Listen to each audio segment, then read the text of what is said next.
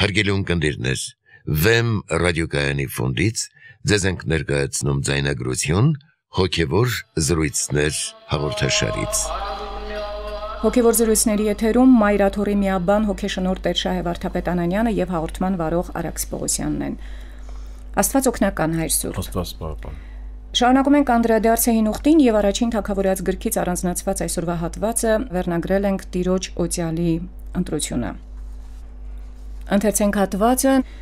Պատերազմը տարածվել էր Եփրեմի լեռան բոլոր քաղաքներում, այդ օրը Սավուղը անկիտությամբ նզովեց ժողովրդին ասելով. Անիցիալ լինի այն մարդը, որ մինչև երեկո նախքան որ ես իմ թշնամիներից վրեժ լուծեմ, հաց կուտի։ Եվ ժողովուրդը հաց չկերավ, թեև ամբողջ երկիրը ճաշ էր ուտում։ Հովնաթանը, չիմանալով թե իր հայրը երթում էր տվել ժողովրդին, ճաշակում է մեղր, երբ Հովնաթանն այդ իմացավ, ասաց. Հայրս երկիրը կորստյան է մատնել։ Տեսեք թե ինչպես իմ աչքերը լույս ստացան, քանզի մի քիչ ճաշակեցի այդ մեղրից։ Մարտիկ ընկան ավարի վրա, արան ոչխարները, արչարներն ու հորթերը գետնի վրա մորթեցին եւ կերան արնաշաղախ միսը։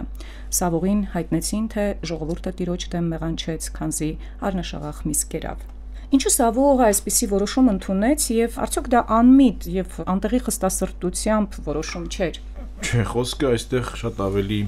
կրոնական բովանդակություն ունի, որովհետեւ մենք գիտենք, որ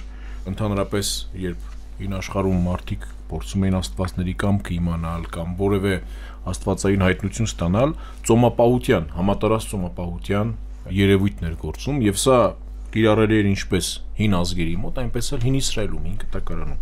Բնականաբար այստեղ խոսքը մենք նախորդ գլուխներում տեսնում ենք, որ պատերազմի մասին է, այսինքն Իսրայելը Սավուղի թակավորման առաջին իսկ օրերին, երբ արդեն չկա Սամուելը մահացել է,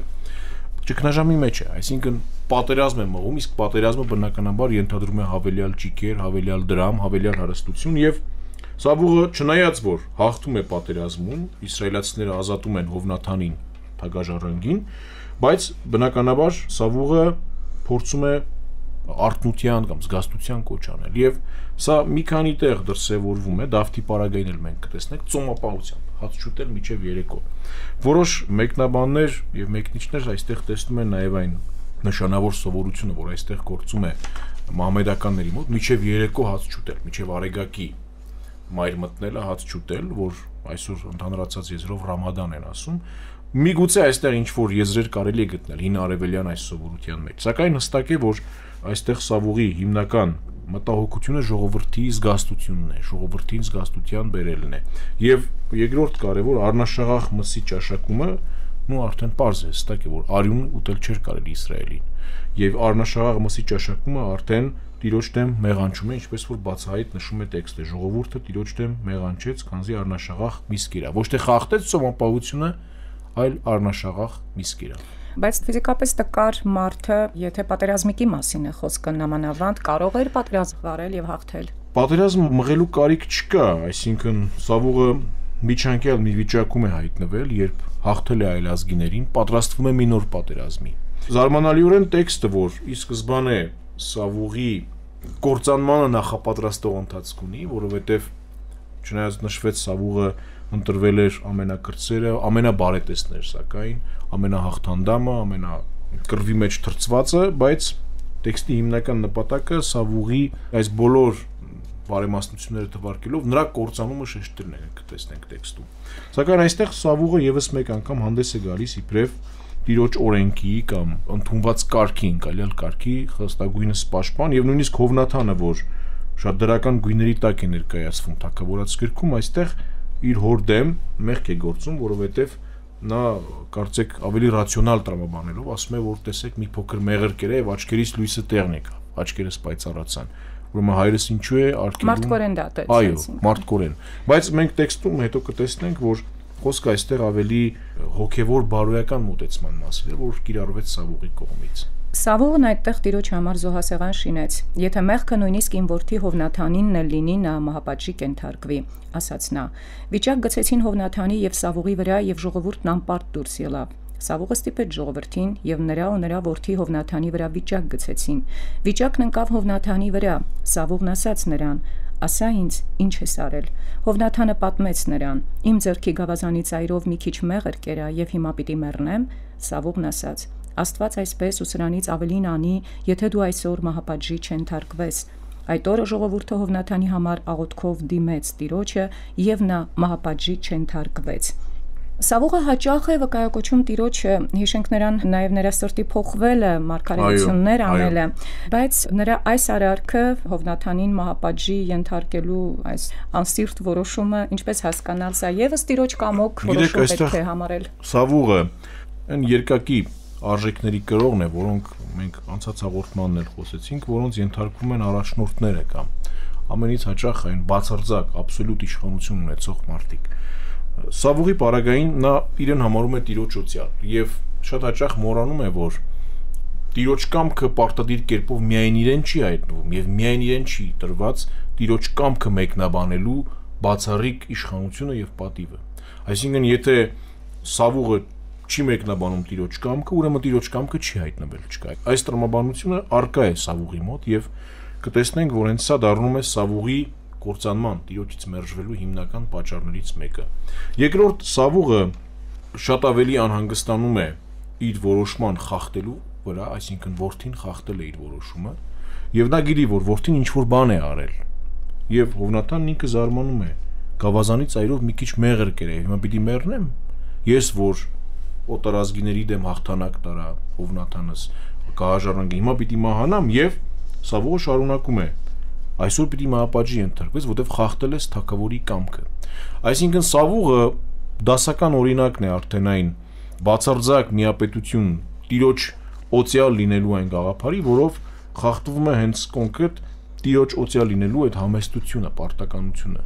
Նա տիրոջ օցիալ լինելու հանգամանքը ծառայեցնում է իր անձի բարձրացմանը եւ շատ հաճախ ինքն իրեն անսխալական է համարում։ Այսինքն այստեղ հավաքականությանը ծառայելու խնդիր չէ, եթե ինքից որդուն չի խնայում։ Ժողովուրդն ինքը իբրև հավաքականություն դեմ է դուրս գալիս եւ ասում է, որ մենք կաղոթենք Տիրոջը եւ այդպես է լինում է։ Աղոթում են Տիրոջը եւ Հովնաթանը պատժի չի ընտարկվում։ Սամուելն ասաց Սավուղին. այսպես է ասում զորությունների Տերը. հիմա Իսրայելի դեմ ամաղեկի արածների համար վրեժն լուծելու։ Նա փակեց իսրայելացիների ճանապարհը, երբ նրանք Եգիպտոսից դուրս էին գալիս։ Արդ գնա եւ կոտորիր ամաղեկացիներին եւ հարիմացիներին եւ ոչնչացրու այն ամենը, ինչ նրանց է պատկանում։ Սավուղը եւ ամբողջ ժողովուրդը սակայն կենթանի թողեցին ամաղեկի թակավոր Ագագին, խնայեցին ամեն տեսակ բարիքները,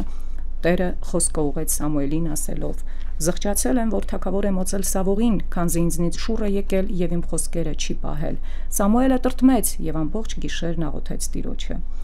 Սավուղը ինքը վատ է զգում, երբ տեսնում է, որ չեն անցացել իր թեկուս այդ անհասկանալի հրամանը, որ տվեց պատերազմից առաջ։ Առավել եւս տիրոջ падգամին, որ կարևորագույն խորհուրդ ուներ, ինչու ինքը չանցած այս բարակային։ Խնդիրը այստեղ շատ ավելի բարդ է, թե բարոյական տեսանկյունից եւ թե մեկնաբանական տեսանկյունից։ Նախ շատ ընթերցողների համար եւ սա պետք է անկեղծորեն խոստովանել այս տեքստը. Կկոտորես նրանց ու կոչնչացնես բոլորին, տղամարդ լինի թե կին, երեխա լինի թե կատնակեր մանուկ, արչարու ոչխար, ուխտ ու ավանակ։ Տիրոջ Բերանից արտասանված. Իսկապես սա վտանգավոր տեքստ է հասկանալու իմաստով, այսինքն Տերը, հին կտակարանի Աստված, Հիսուս Քրիստոսի հայրը ասում է, որ գնացեք կոտորեք բոլորին, մանուկ չթողնեք անգամ, կատնակեր չթողնեք։ Այս տեքստը բնականաբար շատ ու շատ քննադատությունների է արժանացել, թե վաղ եկեղեցում, որտեղ 5 կտակարանյան Աստված համարվել է չար Աստված, որ բոլորովին կապ չունի Հիսուս Քրիստոսի հետ եւ այլն, այսինքն այսօր էլ այս տեքստը շատ բարդ է մեկնաբանելու իմաստով։ Մենք առաջին հերթին չպետք է մոռանանք, որ նախորդ հաղորդումներում շեշտված մարդկային գաղափարախոսության գործոնը այստեղ արկա է։ Բայց այդ մարդկային գաղափարախոսության գործոնը նաև սերտորեն կապված է Աստծո աշտամունքի հետ, որովհետև եթե Սավուղը առաջին անգամ փորձ էր կատարում դուրս գալ Իսրայելի համար նախատեսված սահմաններից, գնալ ամաղեկի վրա, նա արդեն անուղակիորեն հաղորդակցության մեջ էր մտնում այդ ժողովրդի մշակույթների հետ։ Ամաղեկացները հեթանոսներ էին, շատ ավելի զարգացած կրոնական կյանք ունեին, ավելի գայթակղիչ էր նրանց կրոնական կյանքը, որտեղ շատ ավելի ազատ էր ինչ իմաստով ազատ, որ ինչ ուզում էին, անում էին։ Եվ բնականաբար Սավուղը անուղակիորեն հաղորդակցության մեջ մտնելով այս մշակույթի հետ վտանգի էր ենթարկում ամբողջ զորքը, որը ազատ էր ավար առնելու այն ամենը, ինչ պատերազմի արդյունքում հասել էր իրեն։ Ուրեմն այստեղ խնդիրը հետեւյալն է. ինչպես որ Հեսուի ժամանակ արգելվում է որևէ ավար վերցնել, որ เป զի ժողովուրդը չգայթակղվի այդ կրոնական եւ մշակութային հեթանոսական սովորություններից, այստեղ նույնպես արգելվում է որևէ մեկին կենթանի թողնել կամ ավար վերցնել, բոլորին ոչնչացնել։ Այստեղ ոչնչացնել իմաստը դերևս պետք է հասկանալ չառնել ոչ մեկին, չթողնել, պատերազմում չխղճալ, որովհետև հակառակ բարագային, եթե ավար առնեն, գերի տանեն որևէ մեկին, նրանից պիտի սովորեն այն բարքերն ու վարքերը, որոնք իրենց հոգու խորքում իսրայելացի մեծահարուստները եւ վերնախավը ավելի բարձր է կարծում, քան իրենց անասնապահական կենցաղը մշակույթը։ Սա առաջին դիտարկումն է։ Երկրորդ դիտարկումը բնականաբար շատ ճիշտ նկատվեց Սավուղը իր հրամանը անտեսելու համար մահապարժի էր ենթարկում սեփական ворթում, բայց այստեղ ուղղակիորեն խախտում է տիրոջ տրված հրամանը, падգամը եւ արդեն տեսնում ենք, որ արժանանալու է տիրոջ արամարանքին։ Այն պարագային ժողովուրդ հաղոթեց եւ Հովնաթանը փրկվեց։ Այս պարագային ինքը Սավուղն է աղոթում։ Մարգարեն աղոթեց եւ Սավուղը շահեկան դուրս եկավ այս աղոթքի արդյունքում իր վիճակը։ Հիմա կտեսնենք, որ Սավուղը չի խրատվում։ Հիմա եթե շարունակենք, այո, կտեսնենք, որ չի խրատվում։ Սամուելն ասաց Սավուղին. «Միթե Տիրոջ համար ավելի հաճելի են ողջակեզները եւ զոհերը, քան Տիրոջ ձայնին անսալը։ Հնազանդությունն ավելի լավ է, քան ընտիր զոհը, եւ անսալն ավելի լավ է, քան խոյերի ճարպը։ Քանի որ արհամարեցիր Տիրոջ խոսքը, Տերն էլ քեզ պիտի մերժի իբրև Իսրայելի թագավոր»։ Սավուղն ասաց Սամուելին. «Մեղանչեցի զանց առնելով Տիրոջ եւ քո խոսքերը, վախեցա ժողովրդից եւ նրա ձայնին անսացի, արթներիր իմ մեղքը, ինձ հետ վերադարձիր, որ քո Տեր Աստծուն երկրպագեմ։ Սամուելն ասաց նրան. Տերն այսօր քո վրայից վերցրեց Իսրայելի թակավորությունը եւ այն տալու է քեզանից ավելի լավ ընկերոջդ։ Իսրայելը երկու մասի է բաժանվելու եւ Տերն իր խոսքից հետ չի դառնալու եւ չի զղջալու, քանզի նա մարդ չէ, որ զղջա Փաստորեն ամբողջ այս արարողակարգը, աղոթքը եւ դեռ հետո կտեսնենք, որ դեռ երկար սուք է պահում Սավուղի համար Սամուելը եւ Սավուղը կարծես թե նաեւ զղջում է։ Զղջալու հարց չկա այստեղ։ Այդ դրամատիկ հոգեբանական զարգացումներ են։ Սամուելի զղջալը շատ հստակ է, ժողովուրդը վտանգի մեջ է եւ Սամուելը նույնիսկ Մարկարյանում է երկու մասի բաժանվելու մասին, այսինքն Իսրայելում լինելու է քաղաքական կրոնական, հասարակական ճգնաժամ եւ Սամուելը դրա համար սկսում է տրտմել, որովհետեւ շատ դժվար է տեսնել մեկին, որ տիրոջ օցիալն է, որ մարգարեության ոգի է ստացել, որ քահանայության շնոր է ստացել, թակավորության շնոր է ստացել, նա հանկարծ տիրոջ հայտնությամբ մերժվում է, առամարվում է եւ այլևս այդ նույն շնորներից զրկված է, շնորազուրկ է։ Սա ինքնին շատ ծանր եւ սովորական մարդկանց համար այսօր էլ տեսնել մեկին, որ հոգևոր լուրջ ընթացքի մեջ էր եւ հետո տեսնել բոլորովին հակառակ ընթացքի մեջ, դա շատ ծանր կորուստ է եւ այն մարդկանց համար մանավանդ ովքեր ունեն այդ հոգևոր ներքին փորձառությունը, շատ ծանր է տանել այս ամենը։ Երկրորդ Սավուղը գալիս է Կարմեղոս, իր համար հուշարձան է կանգնեցնում եւ մարտակարգերը հետ դարձնելով իջնում է Գաղգաղ, այսինքն նա չի հանդիպում Սամուելին, գալիս է կուրքերին զոհ մատուցելու, ինքն իր համար հուշարձան կանգնեցնելու, կարծեք իր հաղթանակը, իր փառքը ցույց տալու համար եւ արդեն հենց խոսքը դրանով էլ բացատրվում է, որ Սամուելը նրան տեսնում է եւ ասում է եկար կուրքերին զոհ մատուցեցիր, ճարպ մատուցեցիր եւ այլն, բայց ավելի լավ է տիրոջ խոսքը պահիր, քան այս բոլորովին անտեղի արարողությունը կազմակերպեիր։ Այսինքն հաղթանակած թակավորը կարիք ունի տիրոջ խոսքի հնազանդության, ոչ թե հազարավոր զոհերի եւ ճարպերի։ Եվ վերջապես արդեն այստեղ վերջին հատվածում, երբ նա ձերքը գցում է եւ պատրում է Սամուելի տիկնոցի ծայրը, վկայում է Սավուղի արդեն կոպտության մասին։ Սավուղը փորձում է իր իշխանությունը գործադրել նաեւ Սամուելի վրա, որ նրան թակավոր էր ոցել, եւ բնականաբար լինում է այն, ինչ լինելու է. Սավուղը արդեն մնում է բոլորովին մենակ։ Եվ հակառակ այդ ամենին ինքը մտածում է, որ դեռ տիրոջ օցիալն է եւ դեռ կարող է երկրպագություն անել տիրոջը եւ նրա կամքը մեկնաբանել։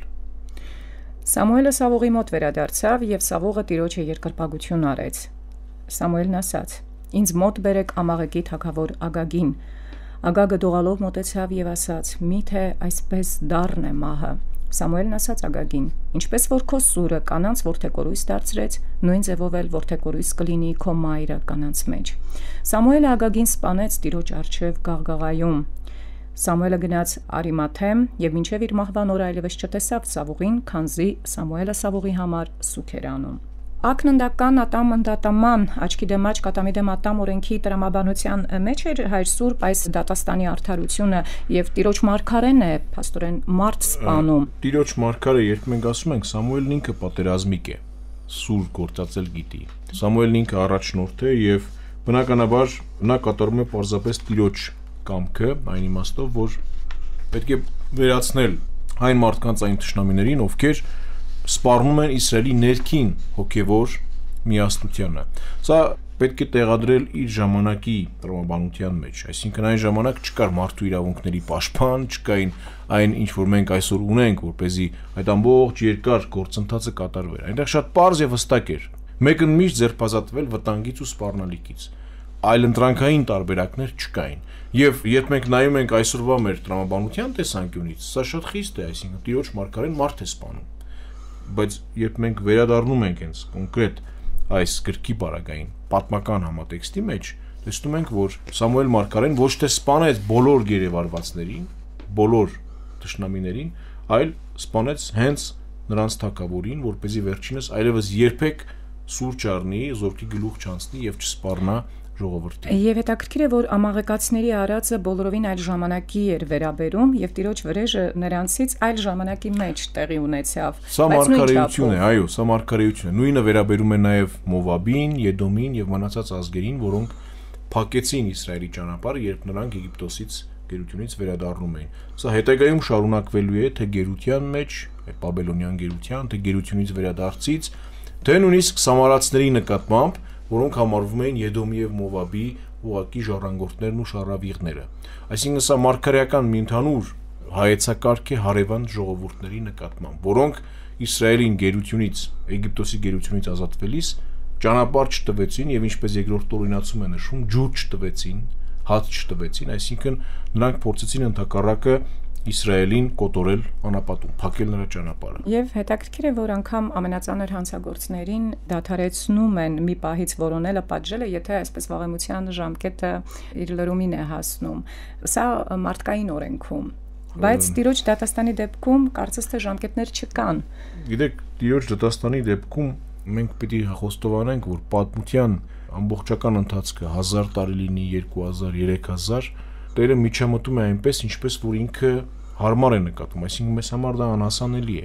Այդ ձեր ասած պատիժը կամ այսպես ասենք դատաստանը ազգերի հետ հենց տիրոջ միջամտությունն է պատմության մեջ։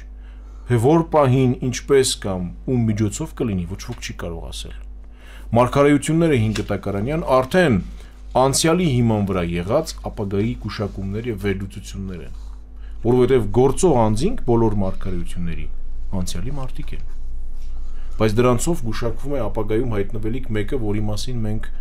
չենք կարող հաստատ իմանալ, միջև ճունենանք այն հոգևոր ներքին փորձառությունը կամ այդ մարգարեական շնորը, որով կարողանանք գուշակել գոնե թե ինչ կարող է ապագայում լինել, ինչ զարգացումներ կարող են ունենալ պատմության որոշակի դրվագներ։ Տերն ասաց Սամուելին. «Մինչև երբ պետք է սքաս Սավուղին, ես նրան զրկել եմ Իսրայելի վրա թակավորելուց։ Քո եղջյուրը յուղով լցրու, եկ քեզ առաքեմ Բեթխեհեմ, Հեսեի մոտ, քանզի նրա որդիներից մեկին եմ թագաւոր ընտրել։ Դու քեզ հետ մի երինջ վերցրու եւ ասա, թե տիրոջը զոհելու համար եմ եկել։ Եվ Հեսեին հրավիրիր զոհաբերություն անելու, եւ ինչ որ պիտի անես, ես կասեմ։ Դու կոծես նրան, որին ես կասեմ։ Ինչու Սամուելի այս տևական սուքը Տերը անտեսեց։ Ամեն դեպքում սա շեշտվում է մի քանի տեղ, որ աղոթեց մինչև Լուիս Սավուղի համար, հետո մինչև կյանքի վերջին օրերը սքաց նրա համար։ Սամուելը իրականում նորից շեշտեմ ոչ թե Սավուղի համար, այլ սքում էր Սավուղ թակավորի համար։ Բնականաբար ցանկացած ազգի կամ ժողովրդի համար լավ թակավորը կամ լավ ղեկավարը օրհնություն է, որովհետև նա իմաստուն է, կարողանում է ճիշտ կանխորոշել ժողովրդի պահանջները, արդարությամբ գործել Եվ վատ թակավորը բնականաբար անեծք է, ցանկացած Այսինքն Իսրայել ազգի ապագայի համար էր սքում։ Երբ Սավուղը այդպիսի կամակորություններ էր անում, ինքն իրեն զրկում էր Տիրոջ շնորից, Սամուելի համար դա ցավ էր, որտեղ Սավուղ թակավորն էր դրա մեջ, ոչ թե Սավուղը, կիսի որդին չէր այլևս, այլ Իսրայելի թակավորը։ Եղջյուրը յուղով լցնելը ինչպես հասկանալ։ Այսինքն եղջյուրը այն սկավառակն է, որի մեջ լցվում է յուղը եւ որը նաեւ ծիսական գործառություն ունի, որովհետեւ մենք տեսանք քահանաների օծման ժամանակ արդեն յուղով օծումը կատարվում էր իբրև նշան նախ ընտրության, այսինքն տիրոջ ընտրյալներն եւ երկրորդ քահանայական կամ թակավորական գործառույթի։ Բայց այստեղ հետաքրքիր է նաեւ, որ եկ քեզ արակեմ Բեթխեհեմ, այսինքն մենք ծննդոց 49-րդ գլխում տեսնում ենք, որ Բենյամինին, որի ցեղից էր Սավուղը, Հակոբ նահապետը բնորոշում է իբրև գայլ, այսինքն ռազմիկ։ Եվ այստեղ արդեն տիրոջ ընտրությամբ Բեթխեհեմ Հուդա այս փոփոխությունը Բեթխեհեմ հացիտուն է նշանակում։ Այսինքն այս փոփոխությունը մատնանշում էր, որ Իսրայելը ռազմից կամ այսպես ասենք պատերազմիկ թակավորի կերպարից վիճակից անցում է կատարում դեպի խաղաղ բարեբեր մի ժամանակաշրջան, դեպի Դավթի ժամանակաշրջանը, որը բնորոշվում է Բեթխեհեմով եւ Հուդայի թակավորությամբ, որից պիտի ծնվի հետագայում Մեսիան։ Եվ սա շատ կարեւոր է, որովհետեւ Իսրայելում Սավուղի կառավարման շրջանում գրեթե միշտ պատերազմներ էին։ Միշտ Սավուղը երբեք չդադարեց պատերազմելուց եւ հենց պատերազմի դաշտում էլ մահացավ։ Այսինքն ինչ որ իմաստով Հակոբի բնորոշումը Բենյամինին իրականանում է։ ասում է գայլ է։ Բենյամինը գայլ է։ Հուդայի պարագային արդեն Հուդայի ցեղից Հեսեի որդի Դավթի ընտրությամբ տեղի ունենում այդ անցումը դեպի խաղաղության, արդարության ժամանակաշրջան, որի առաջին նախատիպը եւ խտացումը Դավիթ թակավորն է։ Ծերերը զարհուրած դիմավորեցին նրան, ասելով. «Քո մուտքը թող խաղաղությամբ լինի, ով տեսանող»։ Ինչու էին ընդհանրապես զարհուրում տեսանողից։ Մի այսպիսի նշանավոր գրող կա 20-րդ դարասկիզբ, որ մասնագիտությամբ եւ բժիշկ էր եւ աստվածաբան էր Ալբերտ Շվայցեր։ Երբ նա առաջին անգամ նո Գվինեա Աֆրիկայում է լինում, այնտեղ ասում է, որ բժիշկը նրանց համար զարհուրելի մեկն էր, բայց զարհուրելի ինչ իմաստով, որովհետեւ նա ուներ իշխանություն կյանք տալու եւ կյանք առնելու Այսինքն այս երկակի արժեքներով էին նրան եւ վախենում էին եւ անհրաժեշտ էր բժիշկը նրանց, որովհետեւ կյանք տալու ուժեր ուներ։ Այստեղ ճիշտ նույն իրավիճակն է։ Տեսանողը կարող էր եւ պատիժ տեսանել,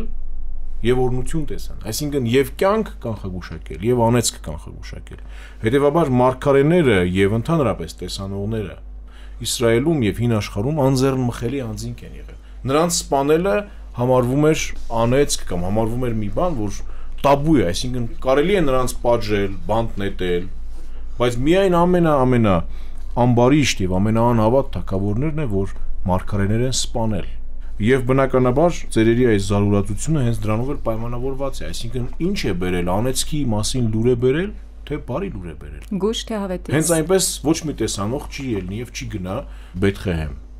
Նա Հեսեին եւ նրա որդիներին մաքրեց եւ զոհաբերության հրավիրեց նրանց։ Երբ նրանք մտնում էին, նա Եղիաբին տեսնելով, ասաց. Իրոք Տիրոջ օծյալն իր արչև է։ Տերը սակայն ասաց Սամուելին. նրա տեսքին մի նայիր եւ ոչ էլ հասակի բարձրությանը, քանզի ես նրան չեմ ընտրել։ Աստված այնպես չի նկատում, ինչպես նկատում են մարդիկ։ Մարդիկ երեսին են նայում, իսկ Աստված սրտին։ Մինչև իսկ տեսանող Սամուելն է Տիրոջ օծյալին արտաքին տվյալներով փնտրում։ Ինչու է մարդն այդքան ընդհանրապես սվերվում արտաքին կողմի վրա, որը հաճախ արտաքնապաշտության է բերում։ Գիտեք, տեքստի մեջ անուղակիորեն կարող են կարդալ, որ Սամուելը դերևս իր օծյալի Սավուղի կատարերատիպի մեջ է դեռ։ Համար այո, պատերազմիկ այդ բարետես հզոր հաղթանդամ մեկը կարող էր միայն փոխարինել Սավուղին եւ նրա տրամաբանությունը, ինչ որ իմաստով մարդկային տրամաբանությունը, բերում է դրան, որ եթե հեսեն worth-ներ ունի, ամենաբարետեսն ու ամենա հաղթանդամը Եղիաբն է, ամենապատերազմիկը, ուրեմն ըստ երևույթին նա էլ պիտի փոխարինի Սավուղին։ Բայց մենք արդեն տեսնում ենք, թե Աստված ինչ է ասում։ Աստված այնպես չի նկատում, ինչպես մարդիկ։ Աստված քննում է մարդկանց հոգիները եւ ըստ այդմ է կատարում ընտրությունը։ Եվ մեզ համար շատ հաճախ այդ ընտրությունը կարող է абսուրդի աստիճան անիմաստ լինել։ Հեսեն կանչեց Ամինադաբին եւ նրան անցկացրեց Սամուելի արչեվից։ Սամուելն ասաց. Տերը սրան չի ընտրել։ Հեսեն Սամուելի արչեվից անցկացրեց Սամային եւ Սամուելն ասաց. Ոչ էլ սրան է ընտրել Տերը։ Հեսեն Սամուելի արչեվից անցկացրեց իր 7 որդիներին էլ, բայց Սամուելն ասաց Հեսեին. Տերը դրանցից որևէ մեկին չի ընտրել։ Այսքանն են քո որդիները։ Հեսեն ասաց. Մի փոքրիկ տղա էլ ունեմ, որ ոչխար է արածեցնում։ Սամուելն ասաց. բերել դուր նրան, քանզի մենք սեղան չենք նստի, մինչև նա այստեղ չգա։ Հեսեն բերել տվեց նրան, նա խարտյաշ էր, սիրուն աչքերով եւ տիրոջ համար գեղանի տեսքով։ Տերն ասաց Սամուելին. «Վեր կաց, օծիր Դավթին, քանզի նա լավն է։ Սամուելը յուղով լի եղջյուրը առավ եւ իր եղբայրների մեջ օծեց նրան։ Այդ օրվանից եւ հետո Տիրոջ հոգին շարժվեց Դավթի վրա։ Պաստորեն Սամուելը հաջորդ անգամներին այլևս չմոլորվեց, որովհետև սпасեց Տիրոջ առաջնորդությանը, դա իրեն դաս եղավ։ Բնականաբար, բնականաբար Սամուելը արդեն հասկացավ, որ խոսքը բոլորովին մինոր երևույթի մասին է, այսինքն արդեն անունը Դավիթ անունը շատ երկակի իմաստներ ունի Դոդեխա կամ Դավիթ նշանակում է սիրելի, ինչ որ մեկի համար սիրելի, ինչ որ մեկին հաճելի։ Եվ երգերկոցի մեջ, երբ մենք այդ բառին շատ ենք հանդիպում, սա մատնանշում է այն անվան ընտրությունը արդեն Դավիթ անունը, խոսում է այդ արմատային, այսինքն ներքին խորհրդավոր իմաստային նրբությունը, որ արդեն ի ծնե ի սկզբանե Դավիթը տիրոջ սիրելին է, որտեղ այդ արմատից է ցակում նրա անունը։ Երկրորդ մենք այստեղ տեսանք, որ Դավիթը խարտիաշ էր սիրուն աչքերով, բայց նա ամենափոքրն էր։ Նա միայն ոչխար կարող էր արածեցնել։ Որևէ առանձնահատկություն չուներ, իր տողմի մեջ 7 ворթիների մեջ որևէ առանձնատուկ դիրք չուներ, բայց հենց նրան է ընտրում Տերը, որովհետև փոքր էր տարիքով թե մարմնով։ Չէ, փոքրիկ տղա ունեմ, նա ամենավերջինն է, հստակ է որ ամենավերջինն է։ Պատանի էր, այսինքն դեռ։ Եվ բնականաբար տեքստի հեղինակը հետո մենք կտեսնենք, որ փոխում է ուղությունը, այսինքն Նա Հեսեի աչքից հեռու էր եւ ոչ ոք չէր տեսնում այն հերոսությունները, որ անում էր Դավիթը, այսինքն մի գարի համար, մի ոչխարի համար գնալ միջև Արուցի հետ պատերազմել կամ Գողիաթի տապալումը, սրանք բաներ էին, որ Հեսեն ինքը չէր տեսնում, որտեղ Հեսեն ամբողջովին կլանված էր իր 7 ворթիներով, որտեղ 7 ворթի ունենար եւ մեկը մյուսից հաղթանդամ ու պատերազմիկ, սա արդեն մարդկային տրամաբանության մեծ առավելություն է։ Բայց Աստված ամբողջովին շրջում է պատմության ընթացքը։ Եվ կարևոր միտքը Տիրոջ հոգին Դավթի- շարժվել այո։ Դավթի վրա նշանակում է, որ Դավիթը դարձավ մարգարե։ Տիրոջ հոգին վերացավ Սավողից եւ սա զուգահեռաբար տեղի Այո, ունեցավ։ այո։ Եվ Տիրոջ կողմից առաքված միջար ոգի նեղում էր նրան։ Ծառաներն ասացին նրան. «Ահա Տիրոջ կողմից առաքված միջար ոգի խեղտում է քեզ։ Թող քո առաջ կանգնած ծառաներդ խոսեն եւ խնդրեն մեր Տիրոջը, որ գտնեն մի մարդու, որ գիտի նվագել, եւ հենց որ Աստծո ուղարկված չար ոգին քեզ վրա հասնի, նա քնար նվագելով կերքի, դա քեզ հաճելի կլինի եւ կհանգստացնի քեզ»։ Ինչ չար ոգի էր դա, որ ըստ այս մարդկանց Աստծուց էր առաքված։ Այստեղ տեքստային որոշակի խնդիրներ կա։ Եբրայեցերեն տեքստի մեջ նույն որոշ հնագույն ձեռագրեր ունեն տիրոջ կողմից առաքված, որոշ ձեռագրեր չունեն։ Բնականաբար գրապարը թարգմանել է 70-ից թարգմանությունից հունարենից, որտեղ կա, բայց մենք եթե մի քիչ ետ գնանք, կտեսնենք, որ Սամուելը Սավողին ակնարկում է կախարդություն անելու մասին։ Եկեղեցական հայրերը շատ հստակ այս կապը սահմանում են 15-րդ գլուխ եւ 16-րդ գլուխ, ասելով որ Սավուղը տրվել էր հեթանոսական կախարդություններին, ապագան գուշակելու կախարդական ձևերին, եւ սա ավելի տեսնելու ենք շուտով Այենի ոգեհարցուկի պարագային, որտեղ Սավուղը արդեն ամբողջովին դրսևորվում է իբրև ոգեհարցության, կախարդություն անելու արվեստի մեջ հմտացած եւ մեծ տեղ տվող դրա համար էլ այդ չար ոգին Տերը թույլ էր տվել, որ անդունդից կամ սանդարամետից, այսպես ասենք, դուրս եկած չար ոգին ուղեկցի Սավողին եւ անընդհատ նեղի նրան։ Այսինքն Սավողն ինքը արդեն ընտրում է իր ճանապարհը եւ այստեղ անհրաժեշտաբար պետք է հասկանալ, որ Տիրոջ կողմից առաքված մի չար ոգին, այսինքն Տերը թույլ էր տվել ըստ Սավողի ընտրության, որ այդ չար ոգին անընդհատ ուղեկցի Սավողին։ Եվ եթե Տիրոջ հոգին լքում է նրան, բնական է, որ այդ տարածքը դատարկ չի մնա եւ Այո, ինչպես Տերն ասում է, ներկայությամբ 7 ավելի չար դևեր կգնան եւ կգան կբնակեցնեն այդ։ Լավ, ինչու պիտի չար ոգին նահանջեր ինչ որ նվագից։ Այստեղ չի նահանջում։ Հանգստացնել, այսինքն չար ոգին ոչ թե նահանջում է դրանից։ Սավուղը հանգստանում է նվագից։ Իր համար հաճելի է դա։ Բայց մենք կտեսնենք, որ սա էլ իր հերթին չի օգնում Սավուղին, որովհետև ըստ երևույթին սավուղը ներքին խաղաղության, ներքին հանգստության։ Դա դիվահարված վիճակի մասին է խոսում։ Ծառաներից մեկն ասաց. Ես տեսել եմ Բեթխեհեմացի Հեսեի տղային, որ գիտի սաղմոս ասել, շնորհալի մարդ է եւ պատերազմիկ, իմաստուն ու ճարտասան, գեղեցիկ տեսքով եւ Տերը նրա հետ է։ Սավուղը падգամավորներ ուղարկելով Հեսեի մոտ ասաց. Ինձ մոտ ուղարկիր քո որդի Դավթին, քո հոտի պահապանին,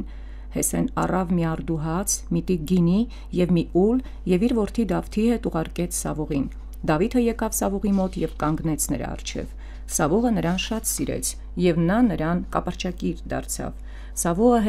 լուր ուղարկեց ասելով. Դավիթը թող ինձ մնա, քանզի իմ առաջնաշնոր գտավ։ Եվ երբ չար ոգին իջնում էր Սավուղի վրա, Դավիթն առնում էր քնարը եւ նվագում իր ձեռքով, հանգստացնում էր Սավուղին։ Սավուղը հանգստանում էր եւ չար ոգին նրանից հեռանում էր։ Սավուղի ծառան Դավթին նկարագրելիս շեշտում է նրա պատերազմիկ լինելը։ Այո արդեն ասացիք, նա ընդհանրապես ոչխարներ էր արածեցնում, պատանի էր, հետո կտեսնենք արդեն Գողիաթի դեմ պատերազմում նրա պատերազմիկի տվյալները, այո, համբավը։ Ինչպես հասկանալ։ Նախապես արդեն Դավիթ այդպիսի տպավորություն ուներ։ Դավիթը ուներ այդպիսի տպավորություն, բայց ոչ իր հոր կամ իր եղբայրների աչքին, որովհետև ինչպես արդեն նշվեց, այստեղ կարելի է զուգահեռներ տանել նույնիսկ Հովսեփի հետ, չէ՞ Հովսեփին ոչ ոք չէր նկատում իբրև բացառիկ մեկը, որ երազներ մեկնել գիտի, երազներ է տեսնում եւ նույնիսկ ասում էին, ահա եկավ երազատեսը հեգնանքով, ծաղրանքով։ Բնականաբար նույն այստեղ Դավթի պարագային է, Դավիթը իր ընտանիքի ամենափոքրն է, ամենաանտեսվածը եւ սակայն Սավուղի ծառաները նույնիսկ նկատել են, որ նա իմաստուն է ու ճարտար, Սամոս ասել գիտի, իսկ դա Սամոս ասել, այսինքն յուրահատուկ շնոր էր։ Դա ոչ թե գրված սաղմոսներ արտասանվում, այլ համապատրաստից պետք էր սաղմոս օրինել, սաղմոս երգել եւ նվագել տավիղի վրա։ Այսինքն սա մի յուրահատուկ գուսանություն էր, այսպես ասենք, իմպրովիզացիա, որ այդ պահին պետք էր այնպիսի երաժշտություն ընտրել, այնպիսի բառեր, որոնք հաճելի կլինեին միապետին, թակավորին եւ չար ոգին կամ այդ կատաղության ախտը, բռնկումը կանցներ։ Իդեպ այս նմանատիպ ախտերը թակավորական են, այսինքն այդ գեր լարվածությունը նյարդային կամ այդ խղճի խայթը, օրինակ շատ հայտնի է պատմությունից, որ Պետրոս առաջինը նույն ախտով էր տարապում Պետրոս մեծը եւ միայն նրա կինն էր կարողանում հանգստացնել մազերը շոյելով եւ ինչ որ երկ մրմնջալով։ Այսինքն սա նաեւ մարդկային իմաստով զուտ պատմության իմաստով շատ հստակ է, որ Սավուղը այն ճանապարհը, որով նա եկավ, այսինքն իբրև տիրոջ ոցյալ, հերացավ եւ մարդկայնորեն նա սկսեց գործել, ինչպես, այսպես ասենք, բոլոր հարևան միապետերը իրենց բնորոշ բոլոր ախտերով եւ մեղքերով Սաղմոսերգու Դավթին մենք հետո կհանդիպենք արդեն Սուրբ գրքում որպես առանձին գիր։ Հետաքրքիր է, հենց այդ սաղմոսներից էր երգում Դավիթը Սավողին։ Ամենայն հավանականությամբ այո, որովհետև որոշ սաղմոսներ իրենց բովանդակային եւ նույնիսկ հին աշխարհի սամոսների հետ նմանություններով վկայում են, որ բավական հին են, ընդཐུպ միջև 10-րդ դար Քրիստոսից առաջ։ Եվ սա վկայում է այն մասին, որ Դավիթը թերևս ինքը լինելով քաջ եւ հմուտ Սամոս ասած, Սամոսերգու նպաստում էր Սամոսերգության զարգացմանը թե տաճարական պաշտամունքի մեջ եւ թե միգուցե նաեւ անհատական բարեպաշտության մեջ։ Դավթի այդ սաղմոսները ներկայանում են մեզ որպես աղոթքներ, ոչ միայն աղոթքներ, եւ մարգարեություններ նաեւ։ Եվ կան եւ աղոթքներ, կան եւ մարգարեություններ, կան բարոյախրատական սաղմոսներ։ Այսինքն բոլոր բարեկաներում տիրոջ խոսքն է առաքված։ Այո, ընդհանրապես հрьяաների մոտ սովորություն կա սաղմոսը համարել իբրև 5 մասից բաղկացած բարոյական օրենք, այսինքն հնգամատյանի բարոյական աղոթական արտահայտումը։ Այլազգիներն իրենց զորքը հավաքեցին, որ պատերազմեն։ Այլազգիների ճակատից գեցի մի զորեղ մարդ դուրս եկավ, որի անունն էր Գողիաթ։ Նրա հասակի բարձրությունը 6 կանգուն եւ 1 թիզ էր։ Հակել էր պղնձից եւ երկաթից լանջապանակ, մի զրահ, որի քաշը 5000 սիկղեր, նրա երկաթե տեգը 600 սիկղեր կշռում։ Նա եկավ կանգնեց, ձայն տվեց իսրայելացիների բանակին ինչու եք մեր դեմ ելել պատերազմելու, չէ որ ես այլազգի եմ, իսկ դուք եբրայեցիներդ Սավուղի ստրուկները, ձեր միջից ընտրեցեք մի մարդ, որ իմ դեմ ելնի։ Եթե նա կարողանա կռվել իմ դեմ եւ ինձ սպանել, մենք ձեզ ծառա կլինենք, իսկ եթե ես հաղթեմ եւ սպանեմ նրան, դուք մեզ ծառա կլինեք եւ մեզ կծառայեք Սավուղը եւ բոլոր իսրայելացիները լսեցին այլազգու խոսքերը, ահաբեկվեցին շատ վախեցան։ Նախ Սավուղի ահաբեկվելն է շատ հետաքրքիր, որովհետեւ նախկինում մենք տեսնում ենք քաչ Սավուղին, ով ժամանակին ժողովրդին կարողանում է իր անվախությամբ հետ բերել այդ ահաբեկումից։ Ինչ փոփոխություն տեղի Փոփոխությունը շատ հստակ է։ Սավուղը այլևս այն նախկին տիրոջոցիալը կամ տիրոջ ընտրյալը չէ։ Սավուղը ամենահասարակ մի միապետ է, թակավոր, Ճիշտ այնպեսին, ինչպեսին նա գերեվարել էր մի քանի տարի առաջ, թերևս օտարազգիների դեմ պատերազմելիս։ Այսինքն նա դառնում է իր հարևան ժողովուրդների նման միապետերից մեկը։ Ոչ մի առանձնահատկություն չկա այլևս։ Եվ սա Սուրբ գրքի ամբողջ, մանավանդ 5 կտակարանի ամբողջ մտահոգությունն է, որ เป զի Իսրայելի թակավորները, ղեկավարողները, ժողովուրդը, այսպես ասենք, վերնախավը, ընտրախավը չդառնա այնպեսին, ինչպեսին հարևան ժողովուրդներն են։ Որովհետև այդ պարագային որևէ կերպ առանձնահատկություն չի առաջանա։ Իսրայելը կդադարի այլևս ունենալ այն բացառիկ մենաշնորը մի աստվածության, որ նրան տրվել է Աստված եւ կկորցնի բնականաբար նաեւ այն մեծ շնորհը, որին արժանանալու է Մեսիայի հայտնության ժամանակ։ Դժբախտաբար մենք տեսնում ենք, որ Իսրայելը չի կարողանում այս գծի մեջ ուղիղ մնալ, հավատարիմ մնալ եւ կորցնում է։ Հիմա այստեղ Սավուղի պարագային շատ հստակ է, Սավուղը այլևս տիրոջ օցիալ չէ։ Եվ երկրորդ գործողը, այսինքն երկրորդ դերասանը, այսպես ասենք, այս պատումի մեջ պիտի հանդես գա Դավիթը, որ արդեն տիրոջ հոգին ունի եւ որպեսի Դավթին ներկայացվի, պատումի հեղինակը կամած-կամած սկսում է մանրամասնել Դավթի ով լինելը։ Դրանից առաջ նա միայն Հեսեի որդին էր։ Հիմա ավելի մանրամասն ներկայացնելու է, թե ով է Հեսեն, ինչ տարիք ունի, քանի որդի ունի, Դավիթը ով էր եւ այլն, որովհետեւ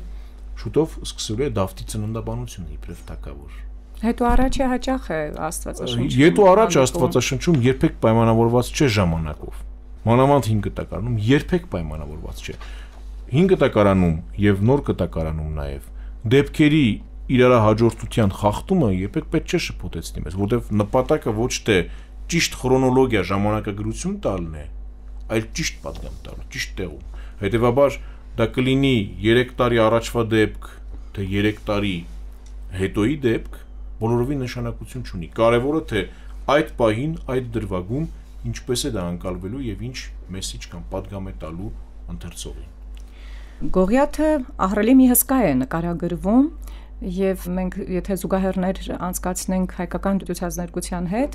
ինչ որ մսրամելիք կամ տոր քանգերի պես մեկն է հառնում շատ հստակ տվյալներ կան. 6 կանգուն այսինքն 1 ոտքի չափ կանգուն մոտավորապես 6 անգամ 50 սանտիմետր եւ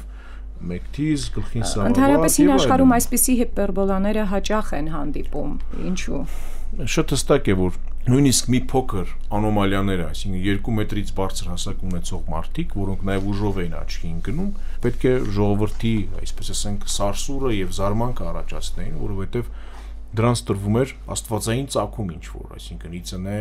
ինչ որ դյուցազնական ուժ, բայց այսօր էլ մենք երբ տեսնենք 2 մետր եւ 10, 2 մետր 20 հասակ ունեցող մարդկանց, մեզ մոտ դա բնականաբար կառաջանա, որովհետև դրանք անոմալիաներ են։ Բայց այս պարագային բնականաբար նա մի վարձու մարդասպան էր, հսկա էր, որին փղշտացները կամ այլազգիները օգտագործում էին պատերազմի ելքը շահելու նպատակով։ Եվ հետաքրքիր հարց է տալիս այդ հսկան, ասում է, ինչու եք մեր դեմ ելել պատերազմելու, այսինքն իսրայելացիներն են առաջինը դուրս եկել պատերազմելու այս պարագային։ Այո, այլազգիները դուրս եկան, որ պատերազմեն, այսինքն արդեն նշվում է, որ Սավուղի ժամանակ Սավուղը հանգստություն չունի, նա անընդհատ պատերազմում է։ Համախմբվեցին հովիտներում եւ պատերազմի ճակատ կազմեցին այլ ազգիների դեմ։ Հովիտներն արդեն, եթե մենք աշխարհագրությունը հիշում ենք, Իսրայելի տարածք չէ։ Ծովափնյա հովիտները պատկանում են փղշտացներին։ Այսինքն սա նաև անուղակի իմաստով նախորդ գրքում ակնարկված այդ կատաղության ախտն է, Սավուղը հանգիստ չունի նա փորձում է վերագտնել այն նույն ուժը, նույն հզորությունը, նույն շնորհը, որ ունի տիրոջ առաջ։ Եվ նրա համար անընդհատ ինչ որ սխրանքի դաշտ է պետք, սխրանքի տեղ է պետք եւ որն էլ ճակատագրական է դառնում հենց իր համար։ Իսկ այստեղ շատ հետաքրքիր է Սավուղի ստրուկներ, այսինքն նույնիսկ այլազգիները գիտեն, որ Սավուղը բացարձակ դիկտատոր է դարձել, այսինքն բռնապետ է դարձել Իսրայելի համար։ Եվ սա պատահական չէ, նրանց հիշեցվում է, որ այլևս ձեր թակավորը այն բարի համբավ ունեցող Աստծո ընտրյալ մեկը չէ, այլ պարզապես դուք նրա ստրուկներն եք, որովհետև նա ձեր worth-իներին տնորինում է այնպես, ինչպես կամենում է։ Դավիթը Սավուղի մոտից վերադարձավ, որ Բեթխեհեմում գտնվող իր ոչխարները արածեցնի։ Այն այլազգին 40 օր առավոտ կանուխ եւ երեկոյան գալիս արցանացած կանգնում էր իսրայելացիների առաջ։ Հեսեն ասաց իր որդի Դավթին. Այս մեկ արդու խարկած ծորենը եւ 10 նկանակը առ եւ շտապիր բանակ турքո եղբայրներին նաեւ իմացիր թե եղբայրներդ ողջարող չեն եւ հարցրու որևէ բանի պետք ունեն Հետաքրքիր է այդ հանգամանքը, որ այդ հսկան, որ տեսնում է, որ բոլորը ահաբեկված են իրենից, ամեն առավոտ բնականաբար դա շատ այսպես ասենք իդեոլոգիական գաղափարաբանական պատերազմ է վախներ շնչելու այսինքն օտարազգիների բանակում կա հսկա, որին ոչ ոք չի կարող հաղթել։ Սա արդեն զորքի վրա մեծ ազդեցություն պիտի թողնի, եւ հետո կարծես այս պատումին ուղղակիորեն հակադրվում է այն պարզությունը, որով Հեսեն ուղարկում է Դավթին, որովհետև Իսրայելում այդ ժամանակ դեռևս այդ կանոնավոր բանակի հարց չկար։ Ամեն ցեղ տալիս էր իր worth-իներին, իր զավակներին եւ հենց ինքն էլ պարտավորվում էր նրանց պահել, կերակրել, զենք տալ եւ այլն։ Այսինքն սա մի բանակի կազմավորման նախնական պրիմիտիվ ձևն էր։ Եվ չնայած որ այդ ցեղային կոնֆեդերացիան կամ միությունը գոյություն ուներ Իսրայելում, թակավոր կար, բայց ամենայն դեպս շարունակում էր ցեղերից մարդ կանչելու եւ ազատ ժամանակ այդ մարդիկ պարզապես հողագործներ էին կամ իրենց անասնապահությամբ զբաղվող քոչվորներ։ Եվ ընդհանրապես ին աշխարհում կարծես թե մենք հաճախ ենք հանդիպում այդ տրադիցիային, որ ղեկավարը զորքի առաջնորդը եւ մյուս հակառակորդ զորքի առաջնորդը երկուսն են բախվում եւ ով ընկավ համարվում է պարտված այդ ընկածի զորքը։ Դավիթը իր բերածները հանձնեց բանակի մթերապահին եւ վազեց դեպի զորքը եւ հետաքրքրվեց իր եղբայրների առողջությամբ։ Մինչ նա խոսում էր, այլազգիների ճակատից դուրս եկավ Համինացի այն փղշտացին, որի անունն էր Գողիաթ։ կրկնեց նույն խոսքերը եւ Դավիթը լսեց դրանք։ Դավիթն իրեն շրջապատող մարդկանց ասաց. Ինչ կանեն այն մարդուն, որ այլազգում կսպանի եւ Իսրայելի նախատինքը կվերացնի ով է այդ անթլպատ այլազգին, որը կենթանի Աստծո զորքին վիրավորանք է հասցնում։ Դավիթը կարծես հայտնվում է թատերաբեմում առաջին կարևոր մտքով։ Իոչ Աստծված վիրավորանքը սրբելու եւ շատ հետաքրքիր է ինչ կանեն այն մարդուն, այսինքն նա մտածում է միգուցե իր մեջտեղ գալը կարող է անանազանդություն դիտվել, իր ավելորդ խոսքերը կամ իր ավելորդ պահվածքը կարող է վնասել իր եղբայրներին։ Մի խոսքով, Շատ հետաքրքիր է նրա մեջտեղ գալը, որովհետև ըստ էության նա իր հոր պատվերն է կատարում, բայց անուղակիորեն հայտնվում է պատերազմի բեմում եւ հաղթում ու սպանում է Գողիաթին։ Սա նույնպես հետաքրքիր հոգեբանական զարգացում է, որովհետև հայրը նրան պարզապես ուղարկում է եղբայրներին տեսնելու նրանցից լուր ունենալու եւ ահա Դավիթը Գողիաթին հաղթելով դառնում է շուտով Իսրայելի թագավոր։ Սա կարծեք նման է այն Հովսեփի պարագային, երբ հայրը Հովսեփին ուղարկում է եղբայրների մոտ նրանցից լուր ունենալու, սրանք